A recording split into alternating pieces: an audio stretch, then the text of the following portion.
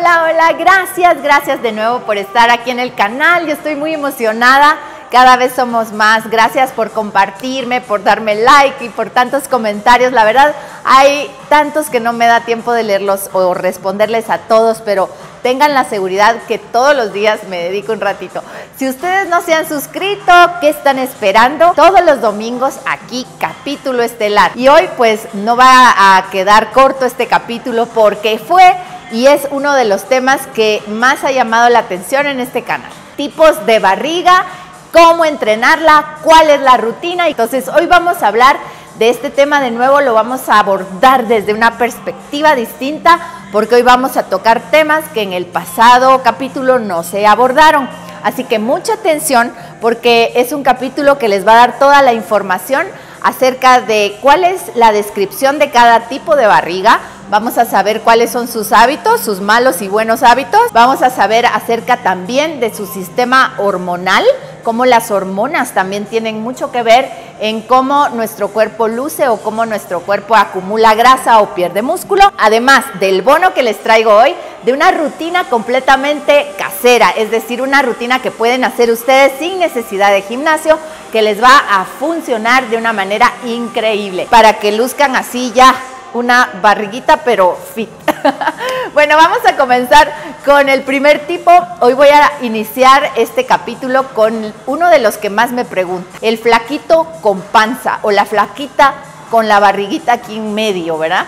Esta famosa barriga que no se va y que tenemos el cuerpo delgado, delgado, pero la grasa la tenemos siempre acumulada en el centro del cuerpo. Eh, este tipo de personas generalmente tienen un nivel de actividad, pueden haber sido activos o son activos pero muy inconstantes.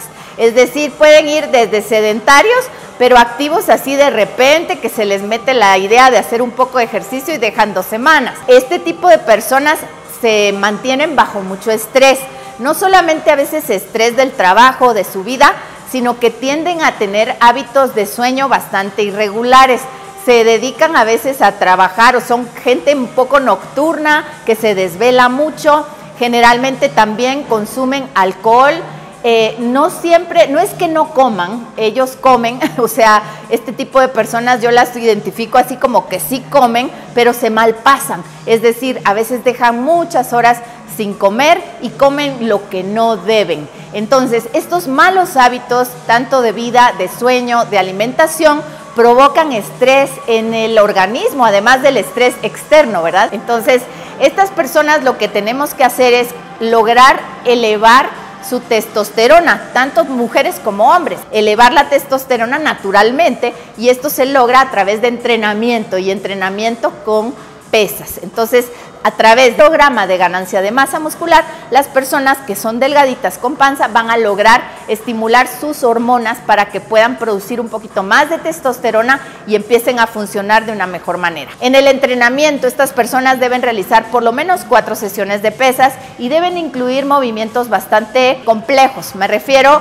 a ejercicios con pesas, con barras, con mancuernas, que tengan ahí sí que, que pongan en acción la mayoría de articulaciones del cuerpo. ¿Qué es lo que deben hacer de cardio? No deben hacer cardio como el cardio de larga duración, sino que deben incluir mejor HIIT training o intervalos de alta intensidad que hoy tenemos la rutina. Aquí yo seleccioné cuatro ejercicios, los cuales se van a realizar entre 30 a 45 segundos cada uno. Lo que van a hacer en el primer ejercicio se le llama un burpee con barra. En este ejercicio trabajas todo el cuerpo. No le pongan demasiado peso, pero sí por lo menos un disco de 5 o 10 libras de cada lado. Este es un movimiento inicial, lo vamos a trabajar constante y vamos a tomar un descanso de 30 segundos para retomar el segundo. Voy a hacer una sentadilla con una mancuerna, en este caso lo voy a hacer de manera swing.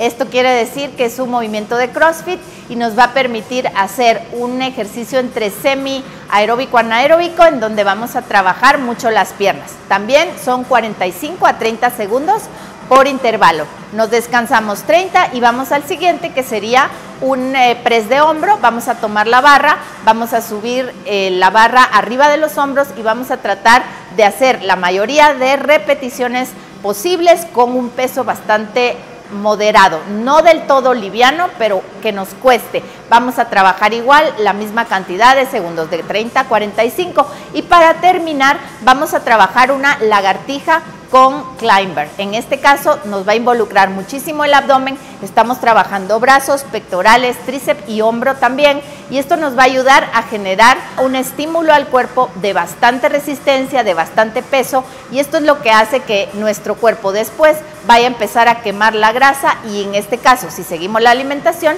vamos a eliminar la grasa del abdomen. Ya que tenemos la descripción del primer tipo vamos con el segundo. El segundo tipo de barriga que vamos a tomar es el panza chelera, que ya lo habíamos tocado en alguna ocasión. Es estas, son estas personas que tienen el volumen graso y el volumen del cuerpo en general, todo acumulado de la cintura para arriba. Son bastante panzoncitas, pero tienen una panza bastante inflada, es decir, está inflamada. No es así como flácida, sino que es una panza dura. Es una barriga que le llaman chelera porque se asocia con el consumo de alcohol pero generalmente a veces no es el alcohol, sino son los malos hábitos que acompañan el alcohol, es decir, grasas muy saturadas, grasas animales, comen en demasía alimentos muy grasosos, no se cuidan tanto en cuanto a lo dulce tampoco, pero en general tienden a ser personas que están en un riesgo alto porque poseen la grasa toda eh, cercana a los órganos. A esto hablo de la grasa visceral, que sería la grasa que está rodeando al corazón, a lo que sería eh, los pulmones, toda la parte de las vísceras acá. Esa es la grasa más peligrosa porque si tenemos la grasa visceral estamos más propensos a ataques cardíacos o enfermedades cardiovasculares. Entonces, mucha atención en estos casos hay que urgentemente hacer un cambio de vida, un cambio de alimentación. Estas personas a lo mejor sí son sedentarias, generalmente no se han activado, no han hecho mayor ejercicio en su vida, no tienen capacidad o habilidad motora porque no se han movido mucho en su vida. Bueno, estas personas generalmente también tienden a, tener problemas hormonales. La, resistencia a la insulina es bastante común. Esto quiere decir, están muy propensos a que cuando entra azúcar en el cuerpo, dispara la insulina y entonces no tienen cómo eh, bajarla, les da, muchos, eh, les da mucho apetito, empiezan a comer eh, muchas cosas a la hora de que comen algo dulce, comen más y comen más. Entonces es este tipo de personas que tienen que tener mucho cuidado para volver su dieta un poco más saludable y, poder controlar los niveles de insulina. Entonces vamos a tener el plan también para estas personas. ¿Qué van a hacer la panza chelera para entrenar?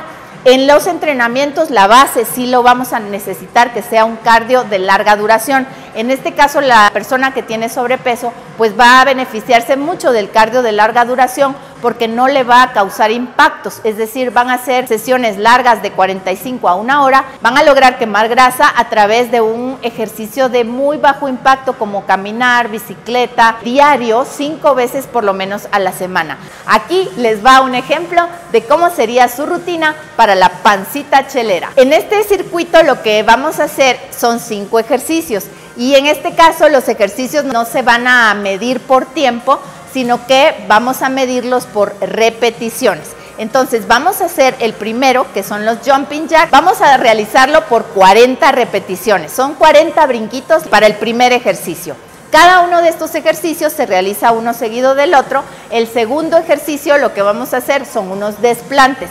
Los desplantes los podemos hacer de manera simple o podemos utilizar esta versión que tiene un giro. Es un poquito más complicado, pero nos va a ayudar a acelerar el ritmo cardíaco. En los desplantes vamos a realizar 30 repeticiones en total, o sea 15 repeticiones de cada pierna. Vamos con el tercer ejercicio, en este caso vamos a utilizar lo que sería un burpee simple. El burpee simple va a ser un movimiento bastante complejo, va desde una sentadilla, manos al piso, camina, si llega a una plancha, regresa y vuelve a subir. En este caso, esta plancha que le llaman a veces el gusanito, o bueno, así le digo yo porque parece un gusanito, lo vamos a hacer por lo menos 20 veces. Está bastante pesado, pero luego nos vamos al siguiente. En el siguiente vamos a trabajar abdomen, es un movimiento que nos va a activar lo que es el, el músculo abdominal, lo vamos a hacer por 20 repeticiones también y luego vamos a terminar con marcha, o sea, va a estar bastante pesado. Este entrenamiento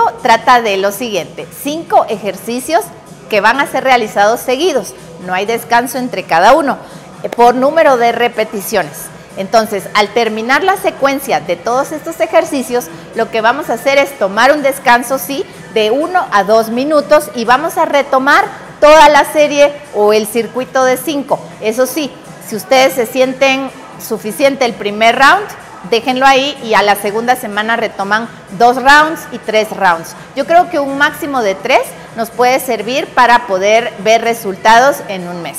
Vamos con el tercer tipo, las de o los de pancita Michelin. Esa le pusimos Michelin porque está concentrada del ombligo hacia abajo. Estas son personas que tienden a acumular la grasa en todo lo que son piernas y pantorrillas. Hasta las rodillas tienen a veces grasa y tienden a ser personas que acumulan del abdomen bajo para abajo, es decir, de abajo del ombligo se empieza a juntar esa, esa barriguita y generalmente se va también a las mujeres, a las chaparreras, a las pompas, a las piernas de celulitis, hay mucha acumulación de grasa. Este es un tipo de grasa que yo le llamo hormonal. Es decir, esto tiene que ver directamente con el desbalance del estrógeno en la mujer. Recordemos, el hombre tiende más a tener testosterona, que sería la hormona masculina, la tiene más arriba y el estrógeno lo tiene bajito, en la mujer es arriba el estrógeno y poquita testosterona. Cuando tenemos un exceso de estrógeno es cuando nuestra grasa se acumula de esa manera. Los receptores de grasa están en esa parte inferior del cuerpo y generalmente pues son personas que de arriba son delgadas, se podrían ver bastante bien de la cintura para arriba, pero si la foto la abren para abajo ya se ve que tienden todo el volumen aquí en la cola. Es más típico en las mujeres tienden a tener problemas de ovario poliquístico o desórdenes hormonales en cuanto a sus periodos. Yo me considero una persona de ese tipo. Toda mi vida he padecido problemas de desbalances hormonales y eso ha hecho que a mí me haya costado el doble lograr eh, ponerme en forma, porque la quema de grasas, la eliminación de grasas en el cuerpo tiene que ver con las hormonas y si hay muy alto estrógeno, eso nos va a ser casi imposible. Entonces hay que checarse, esto es un consejo así de una vez lo, lo lanzo, hay que checarnos siempre con el ginecólogo, saber si estamos constantemente en estos desbalances hormonales, todo esto nos va a afectar a la hora de querer ver resultados en el abdomen. Generalmente estas personas también tienden a ser activas, han sido activas en su vida, han estado en el deporte, han hecho a veces mucho deporte incluso, pero no ven el resultado y siempre están con el mismo o la misma forma de cuerpo. Esta rutina es básicamente una rutina de mucho estrés metabólico. Se compone de cuatro ejercicios de pierna, pero están formulados de manera que van a trabajar metabólicamente, van a hacer un entrenamiento de alta intensidad, que es casi lo mismo que hacer una sesión de pesas completa. Va a durar entre 20 minutos máximo, pero tiene muchísimo desgaste, es bastante intensa. Entonces, se compone de estos cuatro ejercicios. El primero va a ser una sentadilla estática con un peso de 20 libras de cada lado. Estos lo pueden hacer con mancuerna, se colocan en la pared y lo sostenemos 40 a 30 segundos. 30 comiencen como principiantes y luego lo extendemos a 40 segundos, sostener. Luego, segundo ejercicio, descansamos 15 segundos, vamos al segundo ejercicio que van a ser desplantes. En este caso vamos a trabajar con 15 libras de cada lado, 20 repeticiones por pierna. Aquí ya empieza a pegar porque venimos cansados de la sentadilla estática. Entonces vamos a hacer de esta manera 20 repeticiones de desplantes, descansamos 15 segundos y nos vamos al siguiente. Utilizamos dos mancuernas de 10 libras y vamos a hacer este movimiento.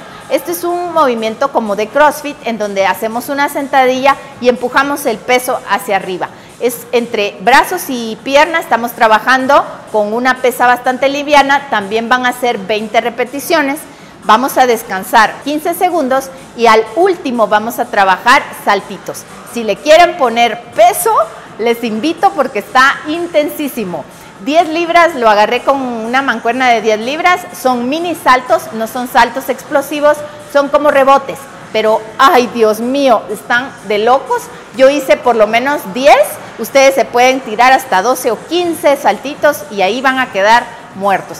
Este es un circuito que lo dedicamos eh, netamente a la pierna, ahí nos vamos a ayudar a quemar toda esa grasa que está acumulada y nos va a ayudar a acelerar muchísimo el metabolismo. Lo repetimos de tres a cuatro veces y lo hacemos una vez por semana. Básicamente este sería el programa para ustedes entender mejor lo que son los tipos de barriga.